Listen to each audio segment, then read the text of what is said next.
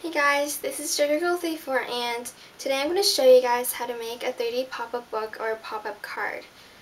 This was a pop-up book I made at school for an art summative and I got 100 on it, which is really good. It's supposed to be a um, very old cuisine or restaurant kind of thing. So here's the first page. It's a um, two-floor restaurant. And as you can see, um, this is really complicated. Like this was a summative, so I worked, I had to make it complicated, but yeah.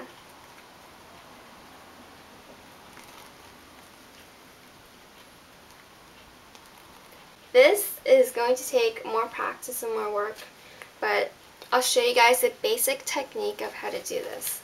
So the very basic, here's the menu, it's not pop-up. And the last page is pop-up. It's a dining little place. Yeah. Okay, I'm going to show you guys the simple version of this. And I learned how to make these when I was in grade 4, so it shouldn't be that hard for you guys, but this is what I made in class in grade 4 that uses the same pop-up technique. It's a Mother's Day card. And keep in mind that I made this in grade 4, so it's not very good. But I used this technique to make this. So, yeah. I'll show you guys the basic technique and you can expand yourself on how to do more complicated things with it. That's what I did. And can just keep experimenting. So I'm just going to take a rough piece of paper and I'm going to fold it in half, cut two lines that are the same in length, okay, like that. And this, and the length that you cut determines the height and the depth of it. So basically determines the volume of the box.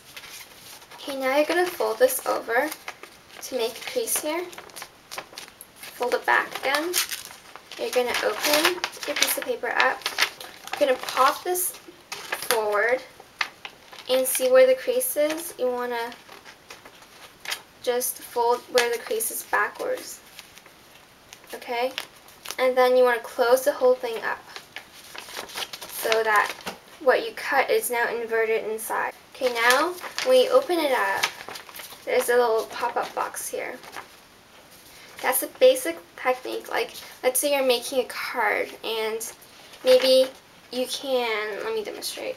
Okay, so I cut out this little thing here and let's say this is a little, I don't know, it's very rough, but you can glue it on. You can glue it on on the box so that when you open it, there's a little, and you can have write a little message there or draw something, I don't know. You can do things like that. But if you want to add another box on top of this, I'll show you how to do that now. Okay, you want to close it up and if you want a box up here, you're going to cut right here, okay? We're going to make a very small box here, so here, I'll show you guys. You could cut the same length. It's important that you cut the same length for both. And. See, I just cut this little flap off that box we originally, originally had and you're going to fold it over like that again to make a crease. Fold it over again. And we're going to do the same as we did with the big box. We're going to flip this over here, crease, and then fold it back. See? So now when you open it, you have two little boxes stacked on top of each other. And you can do more Okay, if you want a box in front of this big box, like let's say another box right here sticking out, I'm going to show you how to do that. It's basically the same thing as what you did up here, except you're cutting it on the other side. So, okay, I'm going to cut and another cut.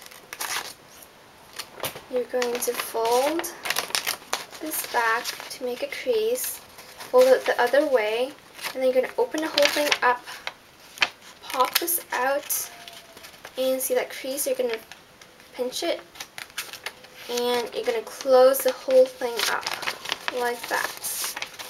Okay, so now that when you open it, you have something that looks like that.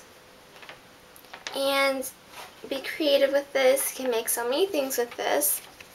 Um, that's the basic, um, basic technique that I use to make my restaurant.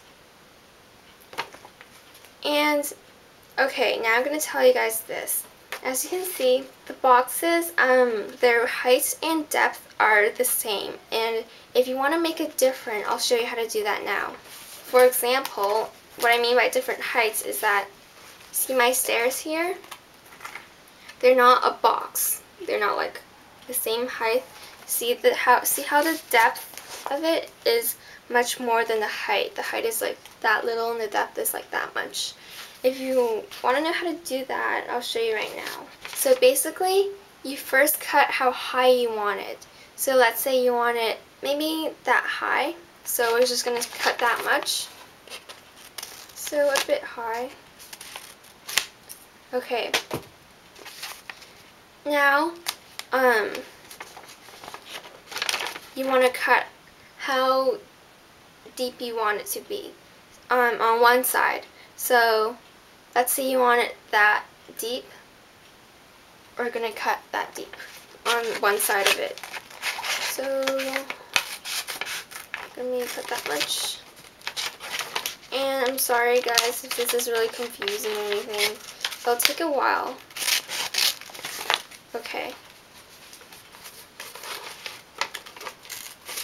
Now we're going to make a crease here where we cut and a crease here.